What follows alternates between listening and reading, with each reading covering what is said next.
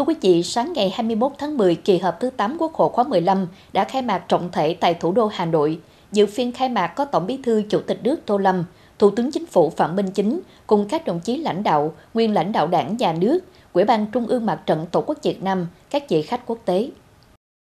Trước giờ khai mạc kỳ họp, các đồng chí lãnh đạo đảng, nhà nước, Mặt trận Tổ quốc Việt Nam, các đại biểu Quốc hội đã đạt qua vào lăng chiến Chủ tịch Hồ Chí Minh, Trước khi bắt đầu kỳ họp, các đại biểu đã dành một phút mặc niệm tưởng nhớ chiến sĩ hy sinh, đồng bào tử nạn cho thiên tai trong thời gian qua. Phát biểu khai mạc kỳ họp, Chủ tịch Quốc hội Trần Thanh Mẫn nêu rõ, kỳ họp thứ 8 có ý nghĩa quan trọng, Quốc hội sẽ thảo luận quyết định nhiều vấn đề để kịp thời tháo gỡ khó khăn vướng mắt về thể chế, chính sách, khơi thông nguồn lực, khắc phục các điểm nghẽn, tất cả vì sự phát triển kinh tế xã hội của đất nước và đảm bảo đời sống của nhân dân. Về công tác lập pháp, đây là nội dung trọng tâm chiếm phần lớn thời gian của kỳ họp. Có 31 dự án luật, dự thảo nghị quyết được thảo luận. Trong đó, Quốc hội sẽ xem xét phấn đấu thông qua 18 dự án luật, 3 dự thảo nghị quyết quy phạm pháp luật và thảo luận cho ý kiến lần đầu đối với 10 dự án luật khác trên cơ sở cụ thể hóa các chủ trương nghị quyết của đảng, xuất phát từ thực tiễn, lấy người dân doanh nghiệp làm trung tâm, Chủ tịch Quốc hội đề nghị các đại biểu Quốc hội phát huy dân chủ trí tuệ, chuyên nghiệp, khoa học, tập trung góp ý toàn diện cả về nội dung và kỹ thuật lập pháp của các dự án luật.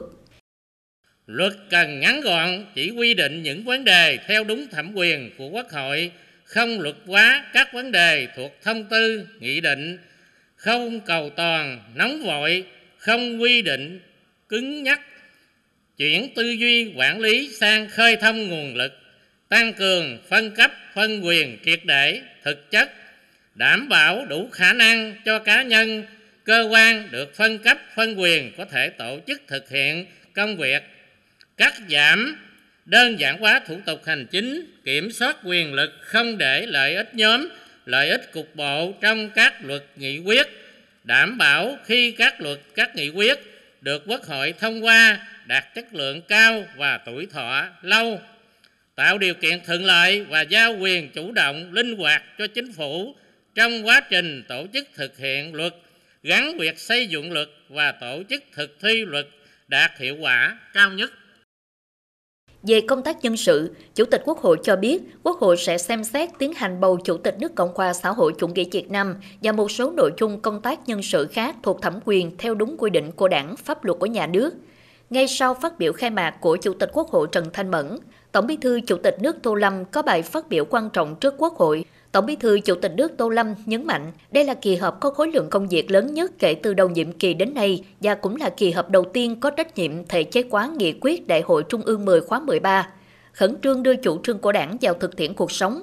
giải quyết nhiều vấn đề quan trọng khác của đất nước, tạo tiền đề, chuẩn bị gây về mọi mặt đưa đất nước bước vào kỷ nguyên mới, kỷ nguyên chương mình của dân tộc. Tổng Bí thư Chủ tịch nước đánh giá trong thành tựu chung của đất nước có đóng góp rất quan trọng của Quốc hội nói chung, Quốc hội khóa 15 nói riêng. Hoạt động của Quốc hội đã có nhiều đổi mới thực chất và hiệu quả hơn. Quốc hội ngày càng phát huy vai trò là cơ quan đại biểu cao nhất của nhân dân, cơ quan quyền lực nhà nước cao nhất – để đáp ứng yêu cầu phát triển đất nước trong kỷ nguyên mới, Tổng Bí thư Chủ tịch nước Tô Lâm đề nghị Quốc hội tiếp tục đổi mới mạnh mẽ tổ chức và hoạt động theo tinh thần nghị quyết số 27 ngày 9 tháng 11 năm 2022 của Hội nghị lần thứ 6 Ban chấp hành Trung ương Đảng khóa 13 về tiếp tục xây dựng và hoàn thiện nhà nước pháp quyền xã hội chủ nghĩa Việt Nam trong giai đoạn mới. Là đổi mới mạnh mẽ công tác lập pháp, trong đó chuyển đổi tư duy xây dựng pháp luật theo hướng vừa đảm bảo yêu cầu quản lý nhà nước vừa khuyến khích sáng tạo, giải phóng toàn bộ sức sản xuất, khơi thông mọi nguồn lực để phát triển. Tư duy tư duy quản lý không cứng nhắc, dứt khoát, từ bỏ tư duy không quản thì được thì cấm. Các quy định của pháp luật phải mang tính ổn định, có giá trị lâu dài. Luật chỉ quy định những vấn đề khung, những vấn đề có tính nguyên tắc, không cần quá dài. Những vấn đề thực tiễn biến động thường xuyên thì giao cho chính phủ địa phương quy định để đảm bảo linh hoạt trong điều hành tuyệt đối không hành chính hóa hoạt động của Quốc hội, luật hóa các quy định của nghị định và thông tư. Đổi mới quy trình xây dựng tổ chức thực hiện pháp luật bám sát thực tiễn, đứng trên mảnh đất thực tiễn Việt Nam để xây dựng các quy định pháp luật phù hợp, vừa làm vừa rút kinh nghiệm, không nóng vội nhưng cũng không cầu toàn. Để mất thời cơ, lấy người dân, doanh nghiệp làm trung tâm, chủ thể, thường xuyên đánh giá hiệu quả, chất lượng chính sách sau ban hành để kịp thời điều chỉnh bất cập mâu thuẫn giảm nhiều thất thoát lãng phí nguồn lực chủ động phát hiện và tháo gỡ nhanh nhất những điểm nghẽn có nguyên nhân từ các quy định của pháp luật. Đẩy mạnh phân cấp, phân quyền với phương châm địa phương quyết, địa phương làm, địa phương chịu trách nhiệm, cải cách triệt để thủ tục hành chính, giảm chi phí, tuân thủ tạo thuận lợi cao nhất cho người dân và doanh nghiệp. Tập trung kiểm soát quyền lực trong xây dựng pháp luật, siết chặt kỷ luật kỷ cương, đề cao trách nhiệm, nhất là trách nhiệm người đứng đầu, kiên quyết chống tiêu cực, lợi ích nhóm chủ động tích cực khẩn trương xây dựng hành lang pháp lý cho những vấn đề mới, xu hướng mới, nhất là những vấn đề liên quan đến cách mạng, công nghiệp 4.0, trí tuệ nhân tạo, chuyển đổi số, chuyển đổi xanh, tạo khuôn khổ pháp lý để thực hiện thành công cuộc cách mạng về chuyển đổi số, tạo đột phá cho phát triển đất nước trong những năm tiếp theo. Tổng Bí thư Chủ tịch nước yêu cầu thực hiện tốt hơn nữa chức năng giám sát tối cao và quyết định các vấn đề quan trọng của đất nước. Tổng Bí thư Chủ tịch nước lưu ý tại kỳ họp này, khối lượng các công việc về giám sát và quyết định những vấn đề quan trọng của đất nước cũng rất lớn. Thực tiễn đang đặt ra, cử tri đang mong chờ đề nghị Quốc hội các vị đại biểu Quốc hội phát huy vai trò trách nhiệm của mình trong thảo luận và quyết định những vấn đề quan trọng này. Thống nhất đổi mới mạnh mẽ tổ chức hoạt động của Quốc hội đảm bảo hoạt động hiệu lực hiệu quả, nâng cao chất lượng, hiệu quả thực hiện nhiệm vụ quyền hạn của đại biểu Quốc hội. Coi đây là một trong những yếu tố then chốt của then chốt để đổi mới hoạt động của Quốc hội. Hoạt động của Quốc hội, các cơ quan của Quốc hội, đại biểu Quốc hội phải đúng vai thuộc bài, phân định rõ chức năng, nhiệm vụ và quan hệ giữa các cơ quan, nhất là các cơ quan của Quốc hội và Chính phủ,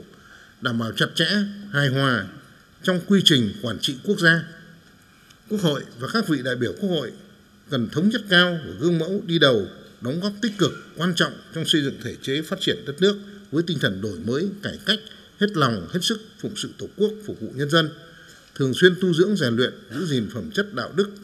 kỷ luật, kỷ cương, nâng cao trình độ và năng lực công tác, giữ mối liên hệ chặt chẽ,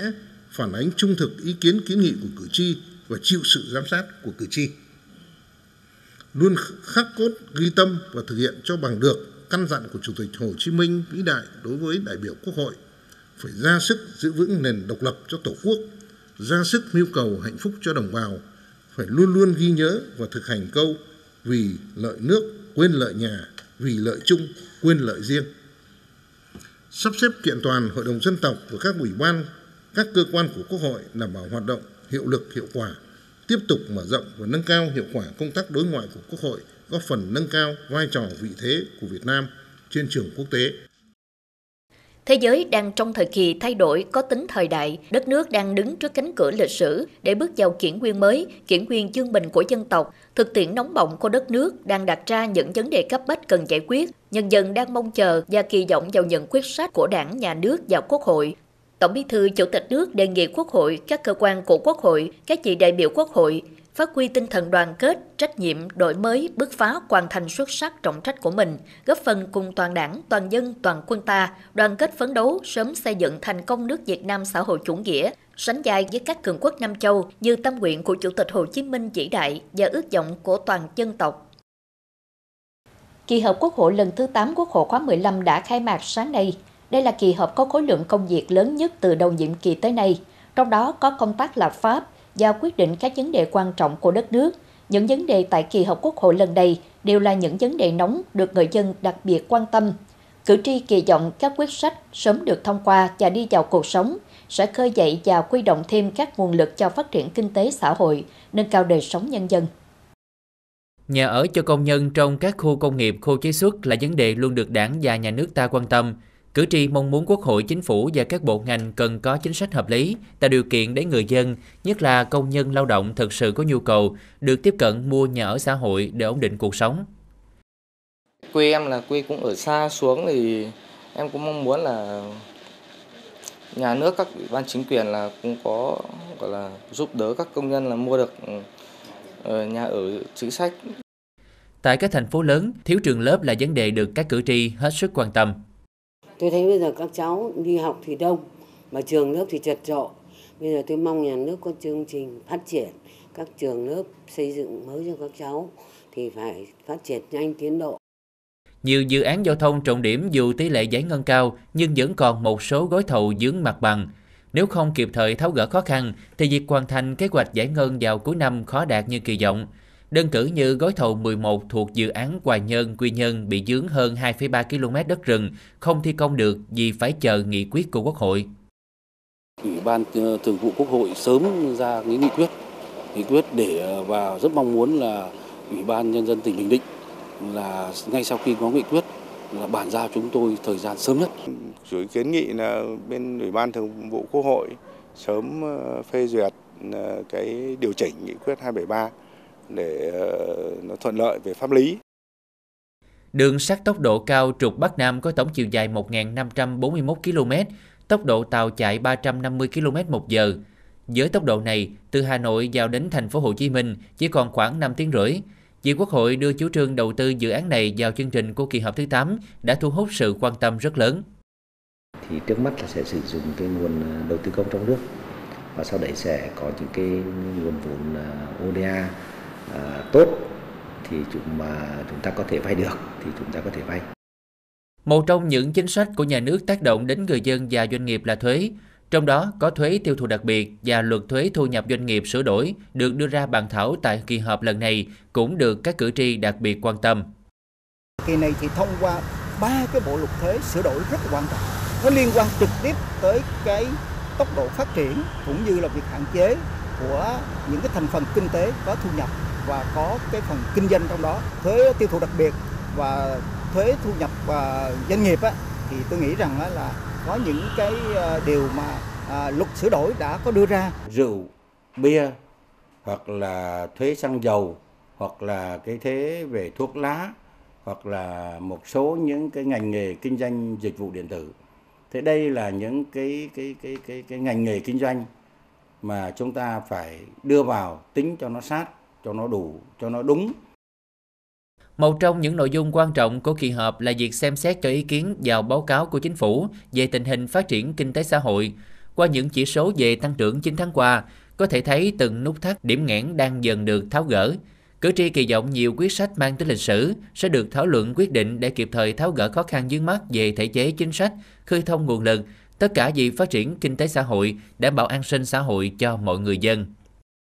Thưa quý vị, ngày 21 tháng 10, Cục Phổ biến Giáo dục Pháp luật Bộ Tư pháp phối hợp với Cục Thông tin Đối ngoại Bộ Thông tin và Truyền thông tổ chức hội nghị tập huấn kiến thức pháp luật về quyền con người và công tác thông tin đối ngoại về quyền con người. Đến dự có bà Ngô Quỳnh Qua, Phó Cục trưởng Cục Phổ biến Giáo dục Pháp luật, ông Võ Thành Đô, Phó trưởng Ban tuyên giáo tỉnh ủy, ông Võ Minh Thưởng, Giám đốc Sở Tư pháp, ông Trịnh Minh Châu, Giám đốc Sở Thông tin và Truyền thông, cùng đại diện lãnh đạo các sở ban ngành đoàn thể tỉnh.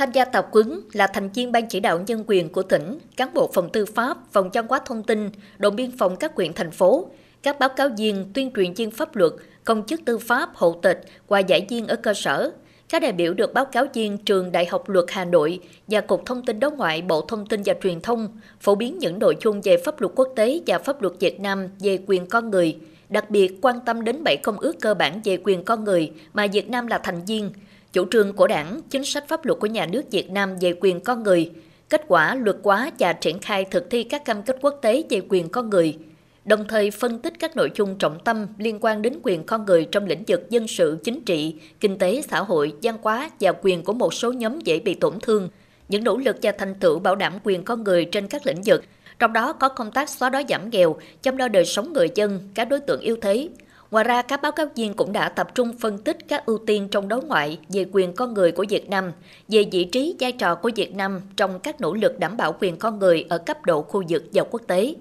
Lớp tập huấn nhằm phổ biến, cập nhật kiến thức pháp luật, các chủ trương chỉ đạo mới trong lĩnh vực quyền con người và lĩnh vực thông tin đối ngoại về quyền con người, từ đó tạo sự chuyển biến trong nhận thức, hiểu biết của xã hội về quyền con người, giúp người dân hiểu rõ về quan điểm chủ trương, nỗ lực và kết quả đạt được trong công tác bảo vệ và thúc đẩy quyền con người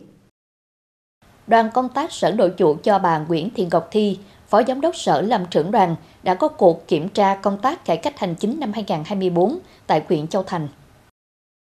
Theo báo cáo, từ đầu năm đến nay, Quỹ ban Nhân dân huyện Châu Thành đã thực hiện tốt việc ban hành các văn bản chỉ đạo, kế hoạch về công tác cải cách hành chính giai đoạn và kế hoạch năm 2024, các kế hoạch kiểm tra và tuyên truyền công tác cải cách hành chính, thực hiện đầy đủ chế độ thông tin báo cáo theo định kỳ, bộ phận tiếp nhận và trả kết quả của Quỹ ban Nhân dân quyện và Quỹ ban Nhân dân các xã thị trấn đến nay đã tiếp nhận giải quyết được 12.830 hồ sơ, trong đó hồ sơ giải quyết đúng hạn đạt 11.744 hồ sơ và giải quyết trước hạn 1.830 hồ sơ. Tổng số thủ tục hành chính thuộc thẩm quyền giải quyết tại cấp quyện 268 thủ tục và cấp xã là 116 thủ tục. Công tác giải quyết các chế độ chính sách đối với cán bộ công chức được thực hiện thường xuyên kịp thời, Việc đào tạo bồi dưỡng, nâng cao trình độ chuyên môn nghiệp vụ và tăng cường kỷ luật kỷ cương hành chính trong thực thi công vụ cũng được đặc biệt quan tâm, từ đó góp phần nâng cao chất lượng đội ngũ cán bộ công chức trên địa bàn huyện. Tại buổi làm việc, các thành viên đoàn kiểm tra thảo luận chỉ ra một số hạn chế trong công tác cải cách thủ tục hành chính trên địa bàn huyện thời gian qua. Lưu ý trong thời gian tới, quyện cần tập trung hoàn thành một số nhiệm vụ còn lại trong cải cách hành chính, nhân rộng các mô hình thực hiện cải cách hành chính có hiệu quả, tăng cường kiểm tra công tác giải quyết thủ tục hành chính, quan tâm hơn nữa trong việc sử dụng phần mềm quản lý văn bản, niêm yết công khai đầy đủ thủ tục hành chính trên cổng thông tin điện tử quyện và bộ phận một cửa liên thông tại quyện và các xã thị trấn. Thưa quý vị, ngày 21 tháng 10, quyền quỹ Mỏ Cày Bắc tổ chức họp mặt nữ cán bộ quản lý, lãnh đạo nhân kỷ niệm 94 năm ngày thành lập Hội Liên hiệp Phụ nữ Việt Nam, 14 năm ngày Phụ nữ Việt Nam 20 tháng 10. Đến dự có bà Võ Ái Quà, Phó Chủ tịch Hội Liên hiệp Phụ nữ tỉnh Bến Tre. Tại buổi họp mặt, lãnh đạo quyện đã phát biểu ôn lại truyền thống dễ dàng của tổ chức Hội Phụ Nữ, những phẩm chất tốt đẹp của phụ nữ Việt Nam qua các thời kỳ, Phát huy truyền thống phẩm chất tốt đẹp đó, nữ cán bộ lãnh đạo quản lý của huyện Mỏ kỳ Bắc đã và đang nỗ lực khắc phục khó khăn, đem sức lực trí tuệ cống hiến cho sự nghiệp cách mạng, hoàn thành xuất sắc nhiệm vụ được giao, là những người phụ nữ giỏi việc nước đảm việc nhà. Đồng thời, lãnh đạo quyện thể hiện mong muốn trong thời gian tới, nữ cán bộ lãnh đạo quản lý của quyện tiếp tục phát huy những thành tích đạt được, sáng tạo đoàn kết hơn nữa, góp phần quan trọng trong phát triển kinh tế xã hội quyện nhà, Dịp này, quyện quỹ Mỏ Cây Bắc tặng quà cho các đại biểu nữ và nữ cán bộ lãnh đạo quản lý của quyện. Nằm trong kế hoạch hưởng ứng đợt cao điểm đảm bảo an toàn giao thông cho học sinh đến trường do Ban An toàn Giao thông tỉnh Bến Tre phát động, sáng ngày 21 tháng 10, Phòng Cảnh sát Giao thông Công an tỉnh đã tổ chức buổi phổ biến giáo dục pháp luật về an toàn giao thông cho hơn 800 học sinh và giáo viên của trường phổ thông Hesman Bến Tre. Nội dung được cán bộ phòng cảnh sát giao thông công an tỉnh Bến Tre trình bày tại buổi phổ biến bao gồm các quy định của pháp luật về an toàn giao thông, nguyên nhân và hậu quả của tai nạn giao thông, biện pháp phòng ngừa và xử lý tai nạn giao thông, các kỹ năng lái xe an toàn và cách sử dụng các thiết bị, vật dụng bảo hộ cá nhân khi tham gia giao thông. Ngoài ra các em học sinh còn được xem video minh họa, tham gia trò chơi trắc nghiệm và thực hành lái xe thông qua màn hình máy vi tính. Đại diện Phòng Cảnh sát Giao thông Công an tỉnh Bến Tre cho biết, việc phổ biến giáo dục pháp luật về an toàn giao thông cho học sinh là rất cần thiết và ý nghĩa, bởi học sinh là một trong những đối tượng quan trọng trong xây dựng văn hóa giao thông, mong muốn các em không chỉ tiếp thu được kiến thức về an toàn giao thông mà còn áp dụng vào thực tế, đồng thời truyền đạt cho bạn bè, người thân. Trong buổi tuyên truyền, các em học sinh đều tỏ ra hào hứng khi được nghe các chiến sĩ cảnh sát giao thông phổ biến những quy định kỹ năng về an toàn giao thông, nhiều học sinh cho biết đã hiểu rõ hơn các quy định của pháp luật về an toàn giao thông. Các em cũng tỏ ra rất háo hức khi được xem video minh họa cho trò chơi trắc nghiệm và thử lấy xe trên máy. À, trong buổi tuyên truyền ngày hôm nay, các bạn học sinh đã được tuyên truyền về ý thức về an toàn giao thông và bên cạnh đó các bạn học sinh đã hiểu rõ về thế nào là an toàn giao thông và thực hiện tốt an toàn giao thông theo em thì ờ, các bạn học sinh nên đội mũ bảo hiểm và khi ờ, cha mẹ cho học sinh đi học thì các bạn thấy đèn đỏ thì nhắc phụ huynh dừng lại. Là một học sinh thì khi tham gia giao thông em nhận thấy được là trách nhiệm của bản thân là phải đảm bảo an toàn giao thông cho bản thân, cho gia đình và cho xã hội. Vì vậy là em luôn nêu cao cái ý thức chấp hành tốt luật giao thông như là luôn đội mũ bảo hiểm khi tham gia giao thông và uh, tuân thủ các cái biển báo giao thông đi đúng làn đường quy định cũng như là chạy đúng tốc độ quy định, không lạng lách, đánh võng, dàn hàng 2, hàng 3. Và ngoài ra thì em còn tuyên truyền và vận động các bạn học sinh, bạn bè, người thân uh, chấp hành tốt luật giao thông. Trong thời gian qua, trường phổ thông Hetman Gmainer Bến Tre đã tích cực triển khai nhiều hoạt động hưởng ứng tháng cao điểm an toàn giao thông cho học sinh. Nhà trường đã tổ chức các buổi tuyên truyền và giáo dục pháp luật về an toàn giao thông cho học sinh các khối thông qua hoạt động ngoại khóa, Phụ huynh cũng được yêu cầu ký cam kết đảm bảo an toàn giao thông khi đưa đón con em đến trường. Học sinh không được điều khiển xe mô tô đi học. Đồng thời nhà trường phối hợp chặt chẽ với chính quyền địa phương trong giải tỏa hành lang an toàn giao thông khu vực trước cổng trường, không cho phép tụ tập bán hàng rong. Chính nhờ những nỗ lực này mà thời gian qua, nhà trường không ghi nhận trường hợp vi phạm giao thông nào liên quan đến học sinh. Đầu năm thì à, trường sẽ tổ chức tuyên truyền ở trong à, học sinh, trong à, phụ huynh, trong đại hội phụ huynh thì cũng nhắc và trong sinh hoạt đầu tuần hoặc là thực hiện những cái chuyên đề vào trong tháng 9 về cái thực hiện an toàn giao thông. Thì bên cạnh đó là kết hợp với công an phường 6 với đội câu lạc bộ lửa đỏ để điều tiết giao thông ở cổng trường để ờ, thực hiện ờ, trường học an toàn Buổi phổ biến giáo dục pháp luật về an toàn giao thông tại trường phổ thông Hetman Gmainer Bến Tre là một hoạt động có ý nghĩa thiết thực, góp phần nâng cao nhận thức và kỹ năng của các em học sinh trong việc tham gia giao thông. Đây cũng là một trong những hoạt động của Phòng Cảnh sát Giao thông Công an tỉnh Bến Tre trong việc triển khai chiến dịch vì một năm học an toàn giao thông trên địa bàn tỉnh. Ngày 20 tháng 10, đoàn cán bộ quyện Chồng Trơm do lãnh đạo Hội khuyến học quyện làm trưởng đoàn đã đến dự đại hội chi hội sinh viên Chồng Trơm nhiệm kỳ 2024-2025 tại trường Đại học Cần Thơ. Hiện tại, chi hội sinh viên Dòng Trơm tại Đại học Cần Thơ có 45 hội viên, nhiệm kỳ 2023-2024, chi hội đã hoàn thành tốt 8 trên 10 chỉ tiêu đề ra, 100% hội viên sinh viên chi hội không vi phạm pháp luật, nội quy của nhà trường, 100% cán bộ hội tham gia các lớp tập huấn cho cấp trên tổ chức và đạt sinh viên năm tốt cấp trường, có trên 85% sinh viên tốt nghiệp đúng thời hạn. Ban chấp hành chi hội phối hợp làm việc trên tinh thần tương thân tương ái vì lợi ích chung, hiệu quả công việc được thực hiện tốt. Đại hội đã bầu ban chấp hành chi hội sinh viên dòng trơm nhiệm kỳ 2024-2025 tại Đại học Cần Thơ gồm 3 quỹ viên. Lãnh đạo Hội khuyến học của quyện chúc mừng thành công của đại hội, ghi nhận những kết quả mà chi hội sinh viên dòng trơm đạt được trong nhiệm kỳ qua. Đồng thời mong muốn ban chấp hành nhiệm kỳ mới với tinh thần đoàn kết, tiếp tục dẫn động tranh thủ sự lãnh đạo của các cấp, liên lạc tập hợp các cựu sinh viên dòng trơm để cùng đóng góp cho chi hội thực hiện đạt được chỉ tiêu đề ra. Dịp này, thay mặt đoàn công tác của quyện, lãnh đạo hội khuyến học quyện trao năm suất học bổng cho các hội viên chi hội. Ủy ban nhân dân quyện tặng giấy khen cho tập thể và năm cá nhân, sinh viên đạt thành tích tham gia tích cực trong công tác hội. Các nhà tài trợ tặng chi hội số tiền trên 28 triệu đồng.